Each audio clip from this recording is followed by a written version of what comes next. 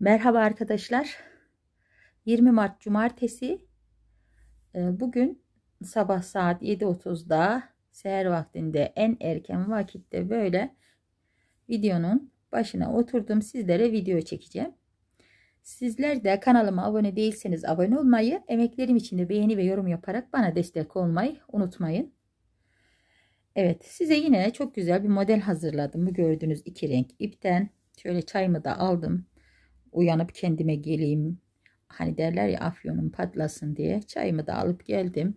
Ve bu da size hazırlamış olduğum, anlatacak olduğum Gonca Gül modelim. Bakın arkadaşlar şöyle kenar yaprakları kıvrımı ve Gonca Gül'ün öne doğru kıvrımı nasıl olacak bu şekilde. Ortasına da inci kullandım. Biraz hareket katsın diye. Modelim bu şekilde. Zarif, güzel, hoş İnşallah işinize yarayan güzel bir çekim anlatımda olur. Allah'ın izniyle modelim bu. Şöyle arka tarafını göstereyim.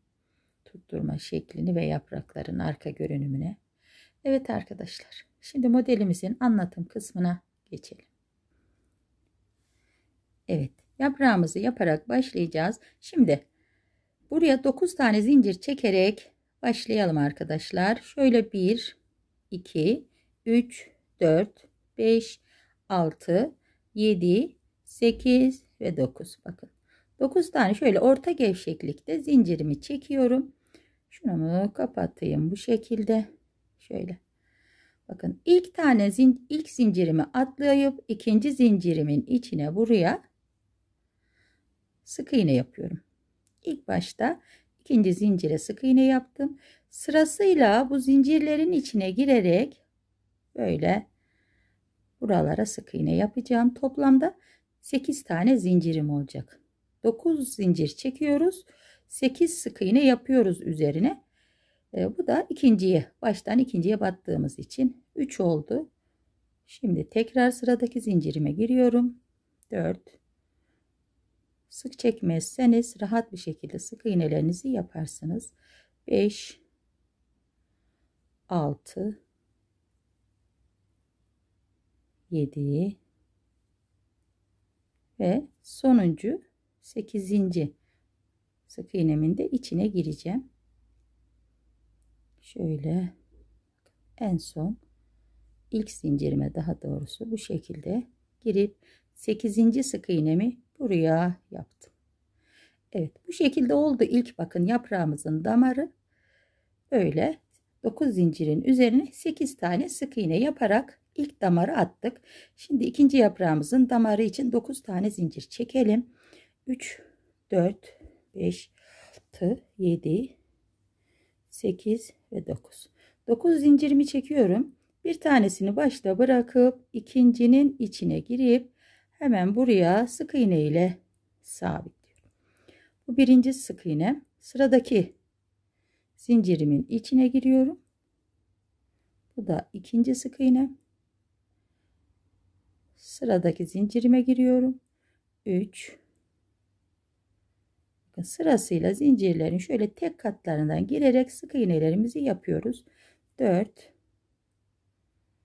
5 6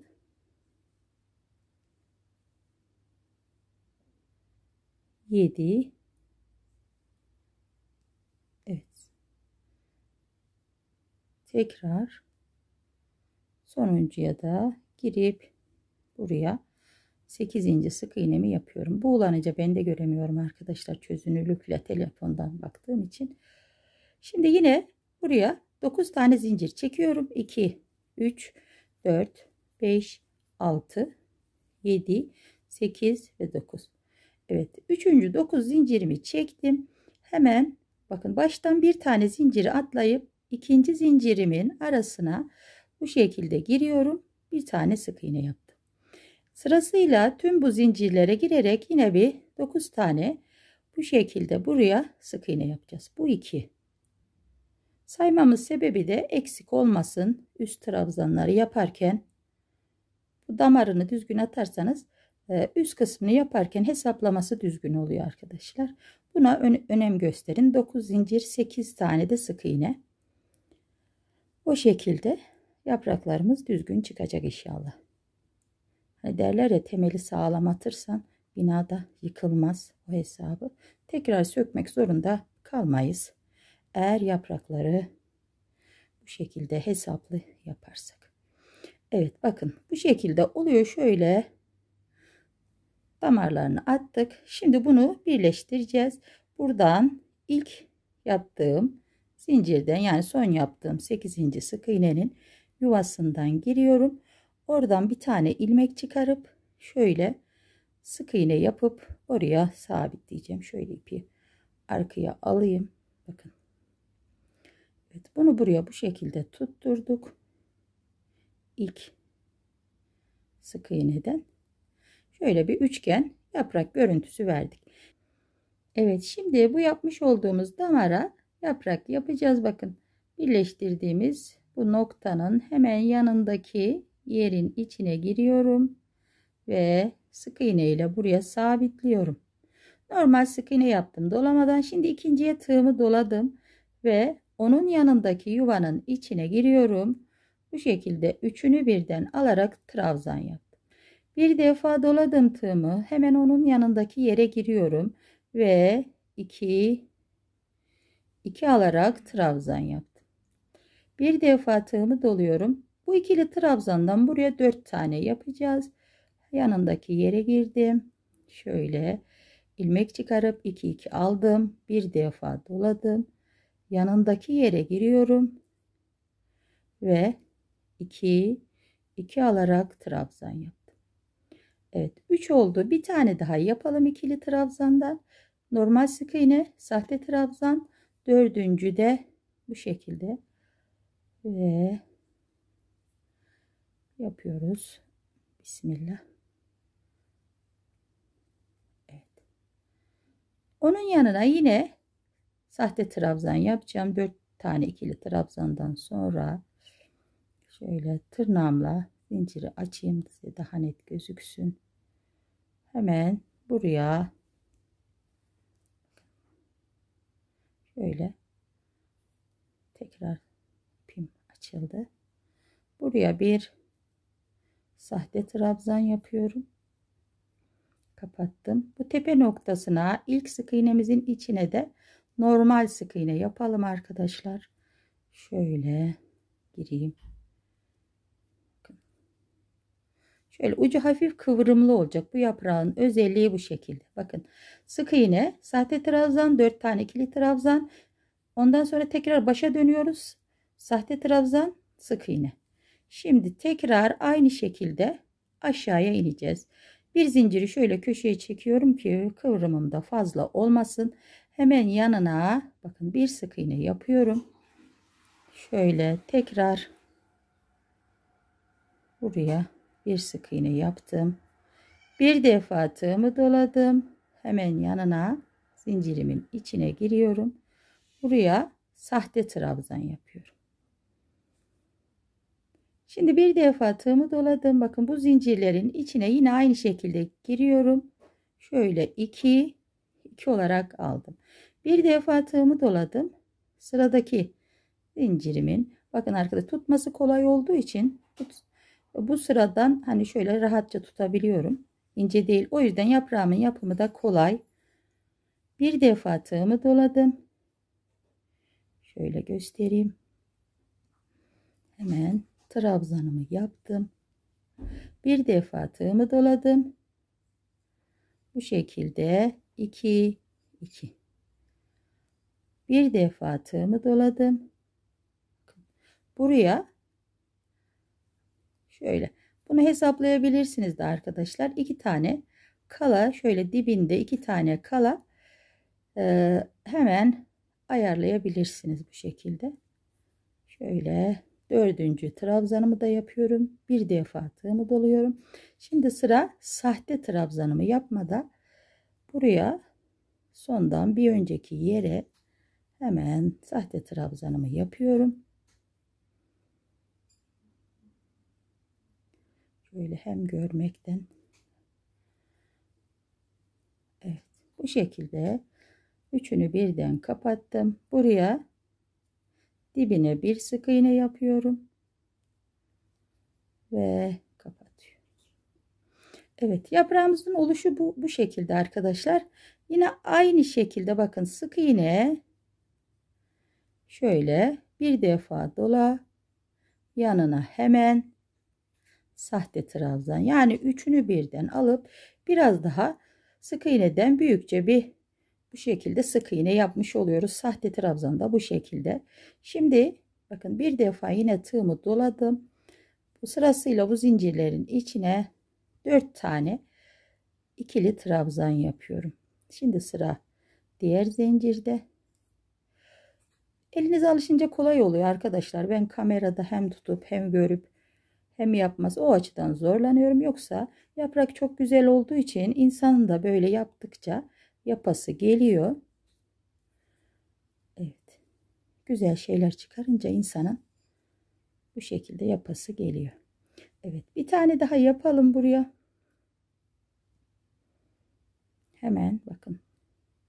Şöyle tırnağımızla geri kıvrıldığı için ikinci sık iğneye kapattığımızdan dolayı buraya bir tane sahte trabzan yapıyorum.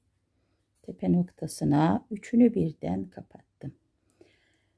Burada ilk yaptığımız sık iğnenin içi şöyle arkadaşlar tutayım tırnağınızla dediğim gibi şöyle açarsanız rahat görünür inşallah ama benim hani kamera açısından görmem zorlanıyor. Buraya tepe noktasına da bakın sadece sık iğne. Sadece sık iğne yaptım.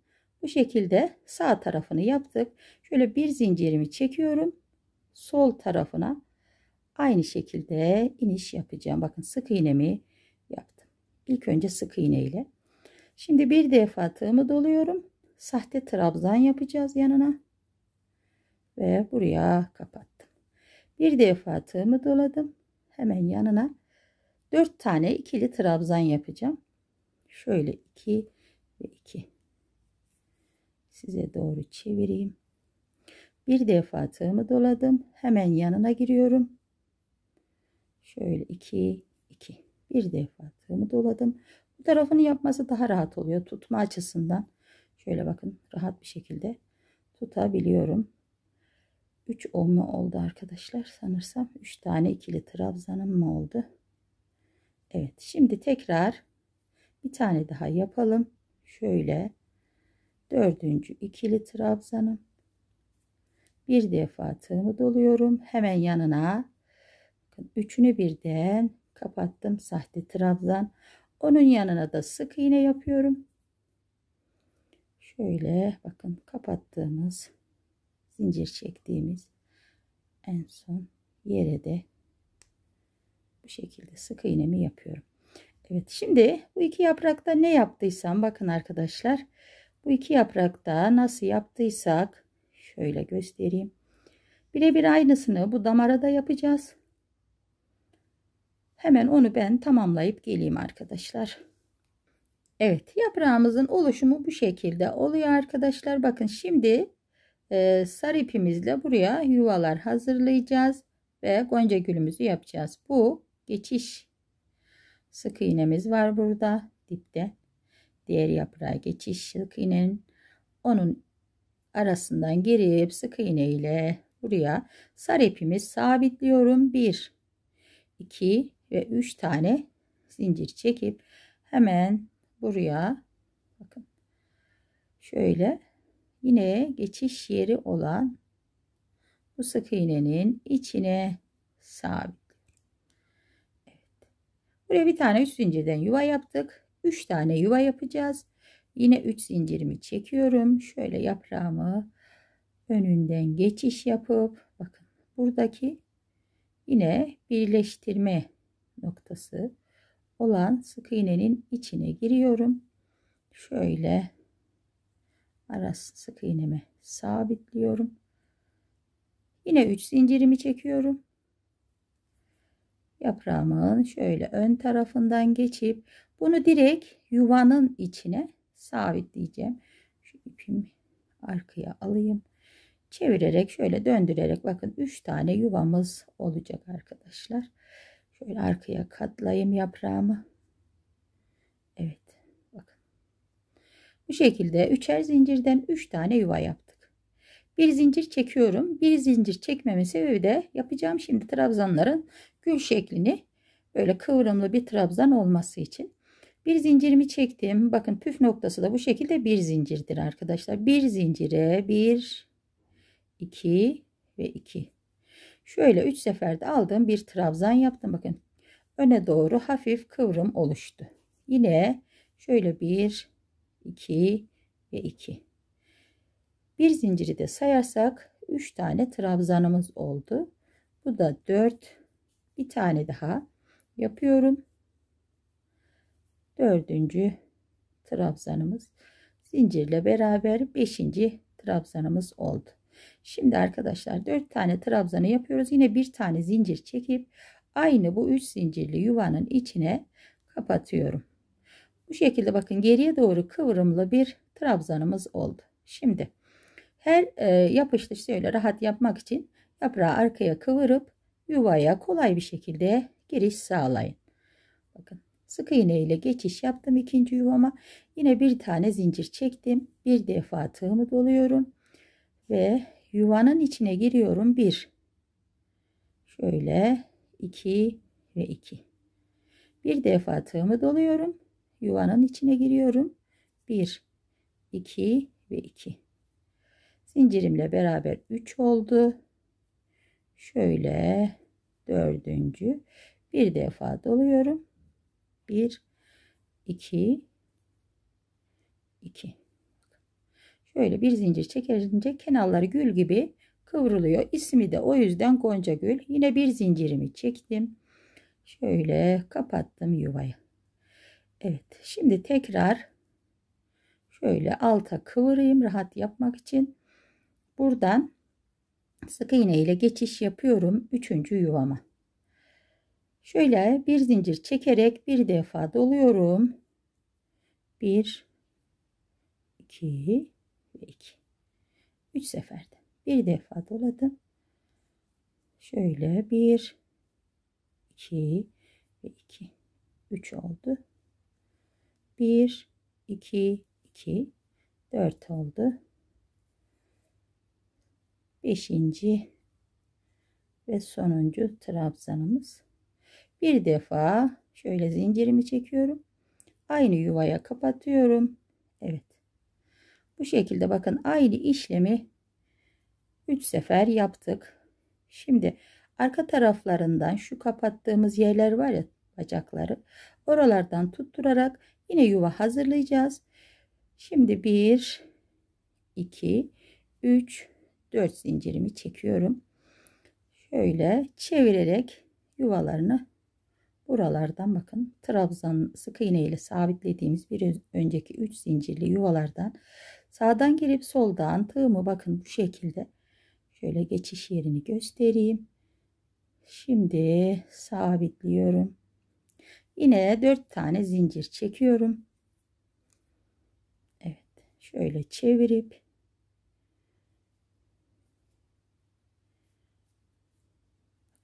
buradan şöyle çevirelim. Aynı şekilde trabzana buraya 4 zincirimi sabitliyorum. Bir tane yuva oluşturduk. Bu şimdi ikinci kat atacağımız yapraklarımız için goncamızın yaprakları için yuva. Yine 4 zincir çekiyorum. Şöyle. Evet şimdi direkt bunu bu 4 zincirin içine şimdi hem yaprağını e, kaldırdık hem altını rahat görün diye arkadaşlar. Şöyle buraya 4 zincire Evet ipimi yaktım. Bu şekilde bakın ipimi yaktığım bu yuvanın içine sık iğne ile girip ipimi buraya sabitliyorum. Geçiş yaptım yuvama. Aynı ilkinde olduğu gibi trabzanlar yapacağız. İki zincirimi çekerek başlıyorum. 2 defa tığımı doladım. Yuvanın içine giriyorum. 2 2 2 2 defa doladım. Yuvanın içine giriyorum. 2 2 ve 2 Şöyle iki defa doladım. Yuvanın içine girdim.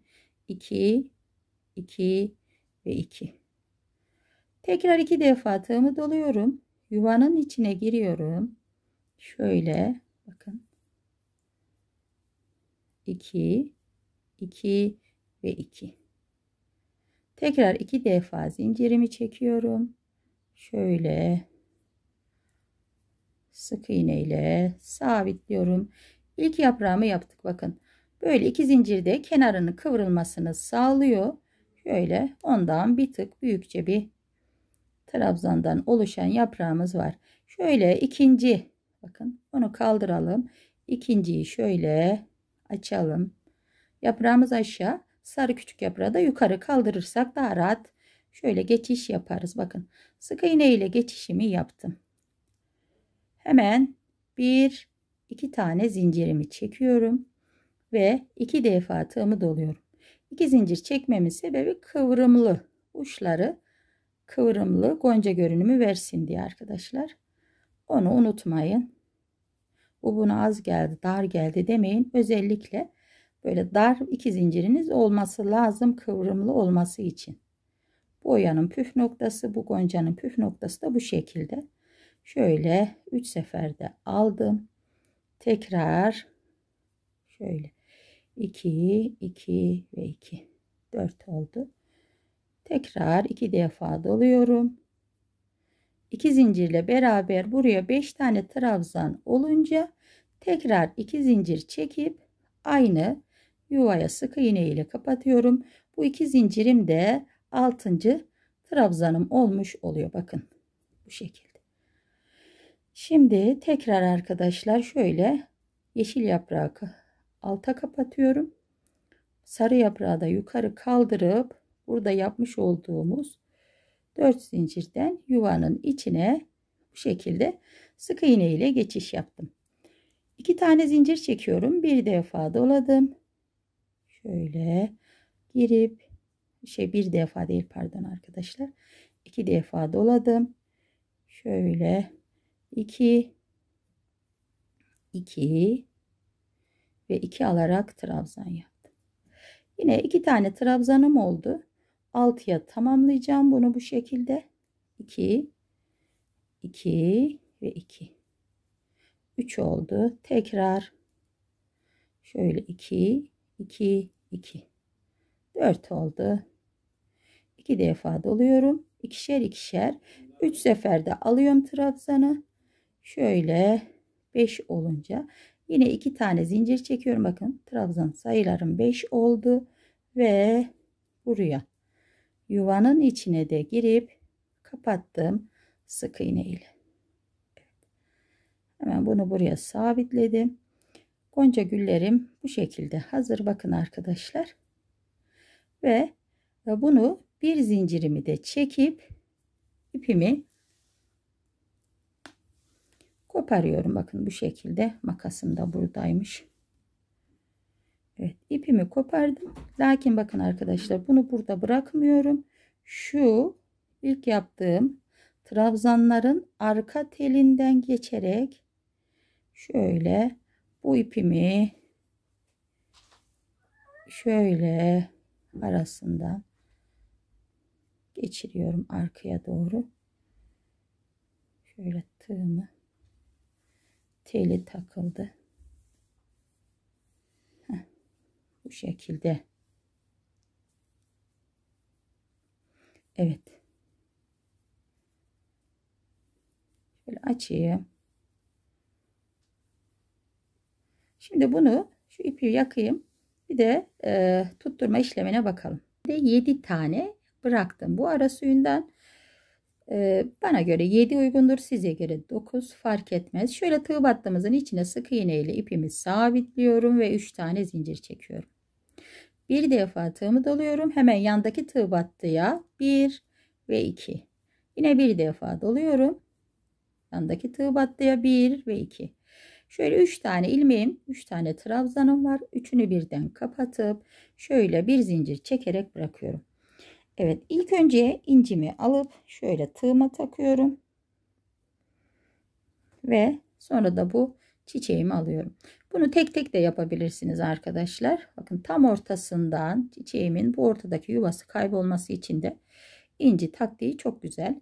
Bıraktığım ilmeği alıyorum. Buradan taktım tığıma. Şöyle bakın. Tığınızın çengeline iyice takın. Şöyle bakın. Ve bunu da incimden geçiriyorum. Bunu tek tek de yapabilirsiniz arkadaşlar. İlk önce e, çiçeği takıp sonra inciyi takabilirsiniz. Şöyle bakın. Çıkardığınızda şu ipiniz tığya takılmasın ki rahat geçirebilin. Şunu şöyle iyice tutamadım.